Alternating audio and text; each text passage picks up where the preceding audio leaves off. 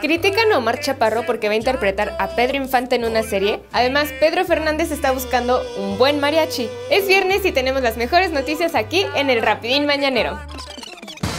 Las mejores noticias del mundo grupero están en el Rapidín Mañanero de la Mejor.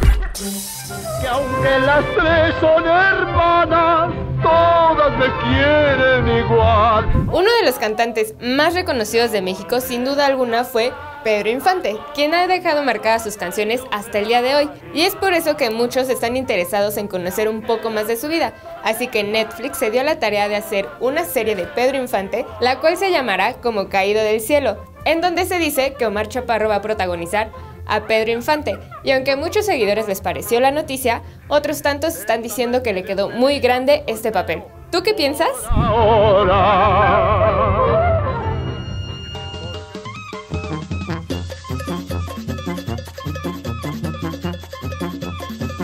Uno de los cantantes que dio muchísimo de qué hablar y hasta el día de hoy se sigue hablando de él es el Gallo de Oro, pues siguen saliendo noticias sobre su muerte, pero también hay noticias muy buenas de él, pues en esta ocasión la Lotería Nacional celebrará la trayectoria del fallecido Gallo de Oro, rindiéndole un homenaje en los billetes de la lotería. No cabe duda que Valentín Elizalde sigue muy presente y además sigue siendo uno de los más reconocidos en el regional mexicano. Arránquense muchachos con la primer canción.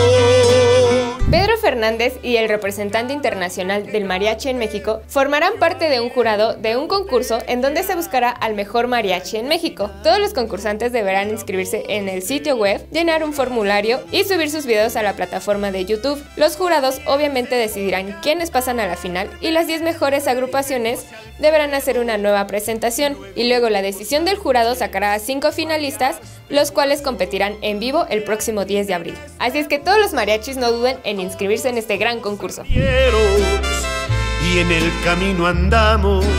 Disfruta tu fin de semana y no olvides que mañana tenemos el conteo de las 10 mejores canciones del regional mexicano en el tope.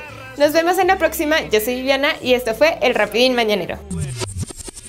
No olvides seguirnos en nuestras redes sociales de la mejor. Facebook e Instagram. Arroba la mejor oficial. Twitter. Arroba la mejor.